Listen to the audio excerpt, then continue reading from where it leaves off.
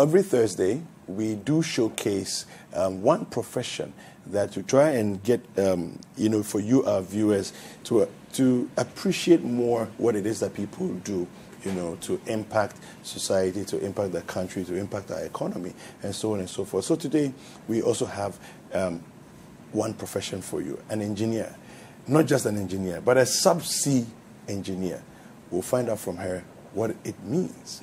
Ama Animah Nuamah, good morning. Good morning. How are you? I'm doing great. Okay, so who is a subsea installation engineer? What's that all about? Right. So um, I like to use a lot of illustrations. Yes, go ahead. Um, just to make it more um, appealing to the average person. So we all know that Ghana has oil, and we know that oil is buried somewhere deep, deep, deep in the sea. Okay, so once you hit the seabed, the oil is underneath the seabed, Mm. and it has to come up for us to, to make use of it. So you have various components and equipment that are laid on the seabed to enable us have access to the oil that is buried beneath the seabed. Okay. Okay. Now, the role of the subsea engineer is to facilitate the design, the fabrication, the installation, um, and the operation of such equipment so that we can have the, the oil come upstream. So that's, that's basically what we do. Um, What sparked your interest in, in this space? Because most of us want to be on dry land, not underneath the sea. Um, so I guess I started from the mainstream traditional um, engineering fields. So looking at mechanical, civil, that's that's where the interest started from. So just a general interest in engineering, anything practical, um, understanding how things work. Then I went on to do um, a bachelor's in materials engineering at KNUST. So that's what I read. Subsequent to that, that's when the journey with um, subsea engineering started. So I have had the opportunity to work with um, GNPC and currently on secondment to GNPC Technip, um, who specialize in um, subsea engineering currently uh, in the country. So that's where the interest um, really peaked. But what was your first experience like in that space? um, a lot of nervousness. Okay. um, and then a lot of excitement. So it was a mixture of the two, Okay. because there's the fear of the unknown, because it's a new it's a new area um, for for Ghana first of all, in an era where we've just discovered oil. I mean, at the time, because I've been doing this for. Um, a bit. I'm not too I'm not too experienced, but I think I've done it for a little while to know my way around. So at the time we had just discovered oil, you're a young graduate, you've entered the field. So the normal jitters that come with um, being in an engineering work environment and then the excitement that comes with having to work on new things. That's that, that was the, the blend for me. I, I, I'm, I'm curious about, um, let's go back a little bit further Sure. and say uh, you're in school and you're studying engineering. Now, I know for a fact that in the class of engineering, maybe not many women will be there. How, what was that experience like? And then how do you then transition and how does it, how does that prepare you also for a working life where there's, you're just one of a few women, you know, who are in that space where just all men. Right. I I happened to be in a class of 36. Out of the 36, there were three females. Wow. Yes. So that's I think that Yeah. paints the picture um, very vividly. That was the space that I entered, but you have to brace yourself because it's a decision you have made to um, embark on such a journey, so to speak. So, the passion, the drive, everything about what sparked your interest, you are going to need to take all of that with you and make it count. That, that's my that's my go by even mm. till today because in the industry we are still very few females um, and you you don't want to make it a pity party mm. you you don't want to be favored just because you're a woman in a male yeah.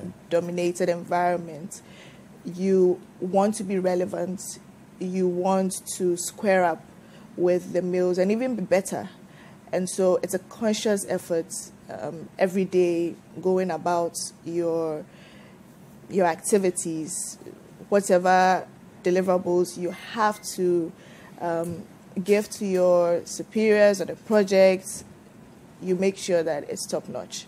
Hmm. What's so, your average day like? Well, it, it depends on it depends on what aspect of the, the, the project we're working on. Okay. So I'll give you the two very, um, let's say, distinct um, scenarios. So the first scenario is currently what um, I'm doing, let's say, as recent as yesterday. Mm-hmm. So I would be in, in the office. I currently um, work on installation analysis scopes. So that involves a lot of calculations, um, preparing simulations. Supposing we have to embark on um, an operation offshore where you're going to do an installation for a jumper or and I'm using a lot of technical terms, technical please. jargon. So use, I'll use have terms to break, we can all understand. Yes, i have to break them down. But you're going to install a piece of equipment. Okay basically I would perform calculations to make sure that the operation is feasible okay. and in what kind of um, cases we can install um, such equipment. So when you say calculations, what do you mean? Like the numbers, the size, what, what, what everything. Okay. So geometry, from geometry to very technical inputs. Okay all of the input data, um, the environment. You have to take data from the environment, which we call metocean data. Okay. So you are looking at the waves, um, if current has to be considered, if you're looking at wind factors, you have to take all of that into consideration in your calculation and validate um, the, the philosophy that you have um, conceptualized. And it has to be precise. It has to be precise. Okay. So subsequent to that, then um, you put out a report stating your findings, and then um, it's cascaded to the right quarters. Hmm. Now, this document will be used um, as a go-by offshore, so to as a reference for operations. Wow. Yes. So if someone gets a calculation wrong, what could happen? There are What's the worst stories you've, you've, heard? There are dire consequences. Can you um, share some with us? We haven't had, fortunately for me, we haven't had um, any of those scenarios. Precisely, that's why I'm sitting here. uh, but we haven't had any any such cases on on our side okay. um, as a company. So that's good mm-hmm. because there are lots of checks and balances in place if you miss it, somebody is going to um, call it out, okay. and then you can revise the calculations. But it's your responsibility as um, an installation analysis engineer to make sure your calculations right from the onset are, are precise. And yes, then there's a second scenario where you're a project engineer offshore. So a typical day for me offshore would be um, waking up on the waters so you're in some remote location in the middle of the ocean, literally, um, on a boat that is rocking. Um, and yeah, once, it's like the way we see it in the movies where the sun is up and you're just feeling the air and you, you're hearing the waves, or is it more like, listen, all right, it's enough? It's it is quite. It can be quite serene as as the movies portray it. Uh, If you're a nature person, then you would appreciate the sunrises and the sunsets and all of that. Um, the other side is once that that lasts for maybe 30 minutes Yeah. tops and then it's go so you have to go to the office which is on the vessel Wow. and then um, do a handover with um, your your colleague project engineer they would hand over So that's a shift that was working before precisely you. Precisely. Okay. and then you have um, a discussion on what has transpired in your absence. Then you can now take over, um, supervise the operation as required, make inputs, and then ensure that the operation um, goes on successfully. What has been what, what has been your most scary day at work? Wow.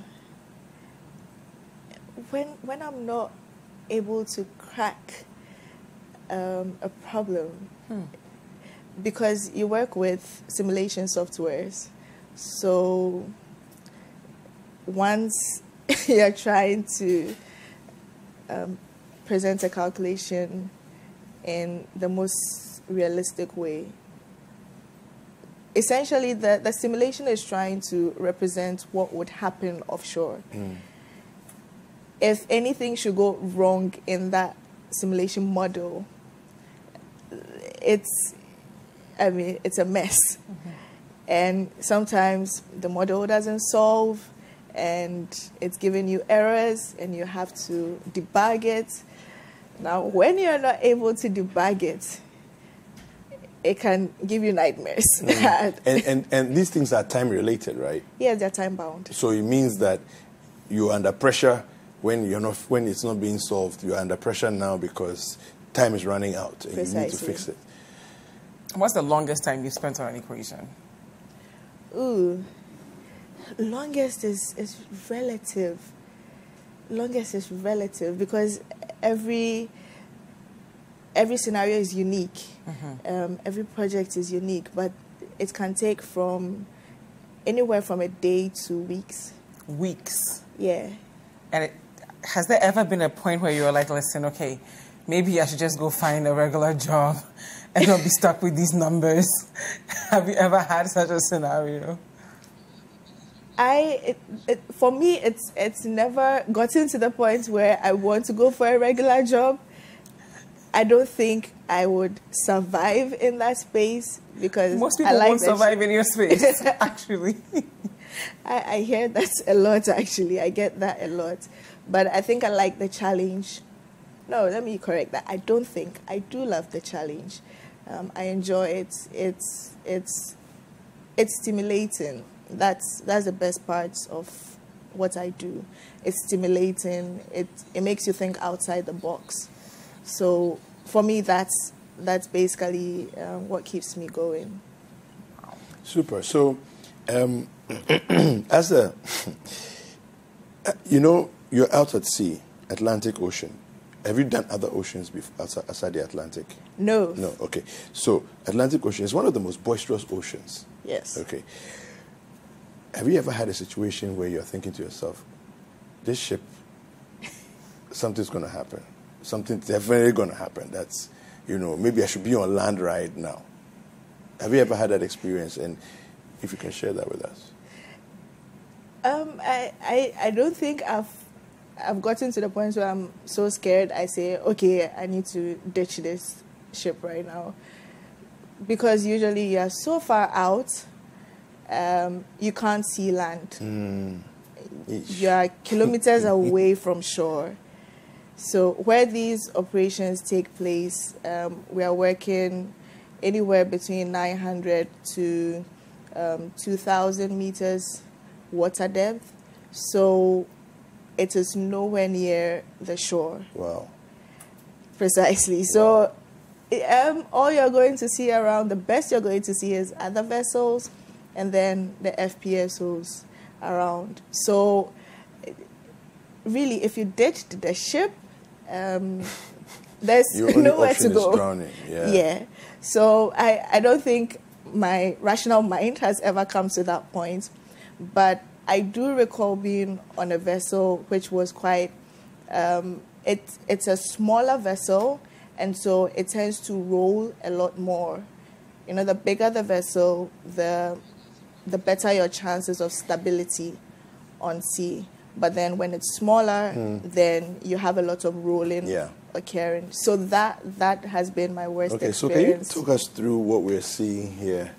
Uh, what? So is this is a typical? What's what is yes. this? So, so this is a typical vessel, Mm. and I used a term earlier called the jumper. Yeah.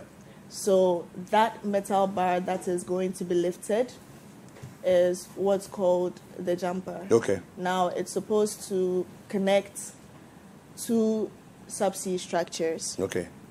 We'll see that sometime um, later.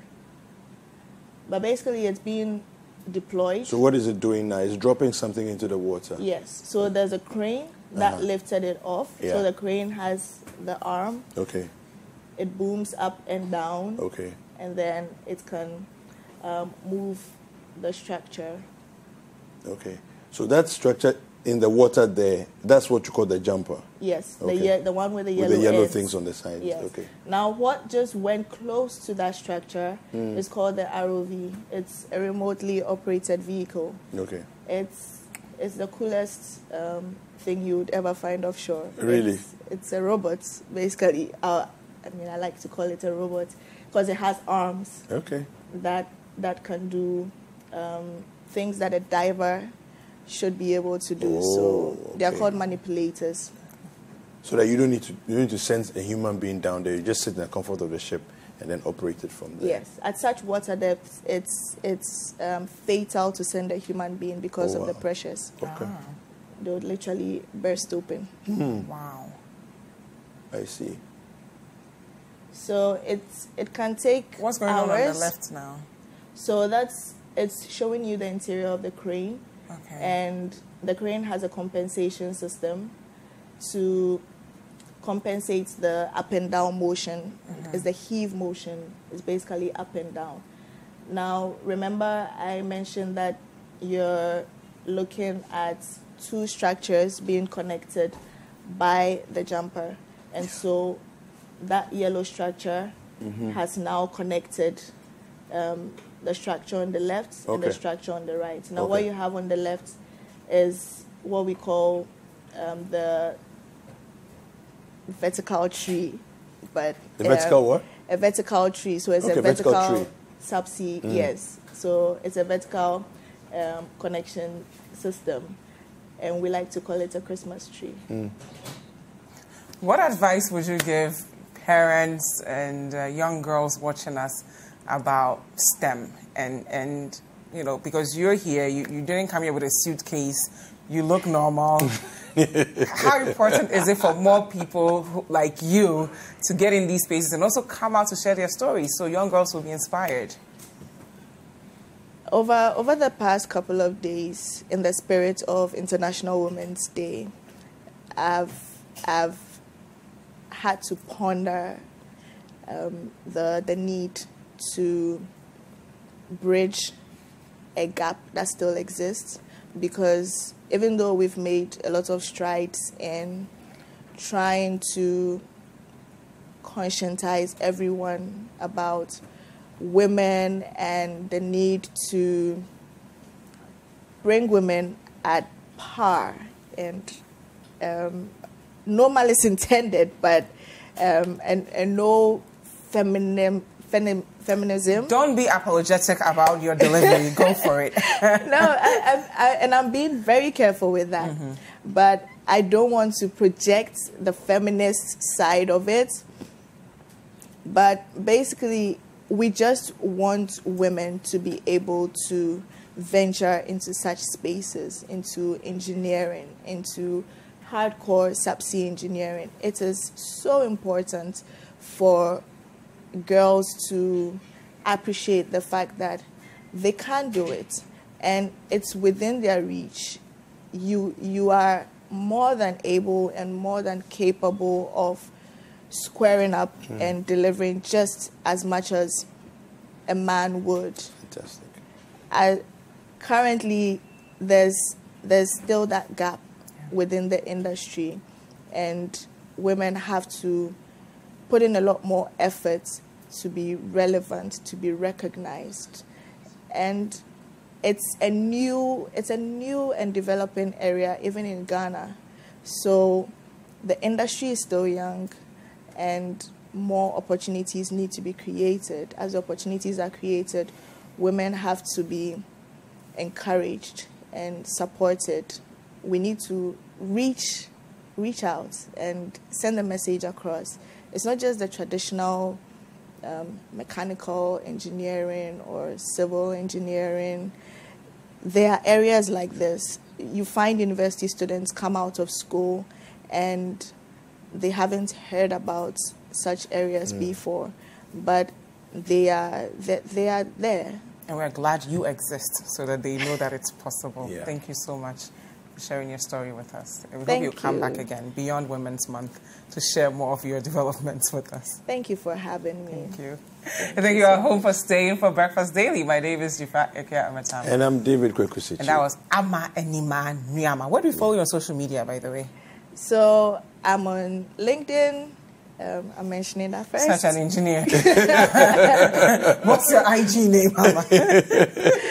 so my IG, my IG name is Eve Lemond. Eve Lemond. Um, Thank yes. you. Thank you very much. I can find her Thank on you. LinkedIn. Ama Animah Nuamah. And Don't go anywhere. Yes, Facebook and every place else. News reviews next. Yes. We'll be right back. We'll be back.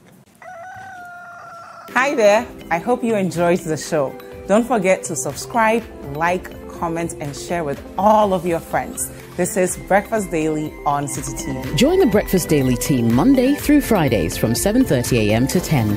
Join us for breakfast daily only on Citi TV.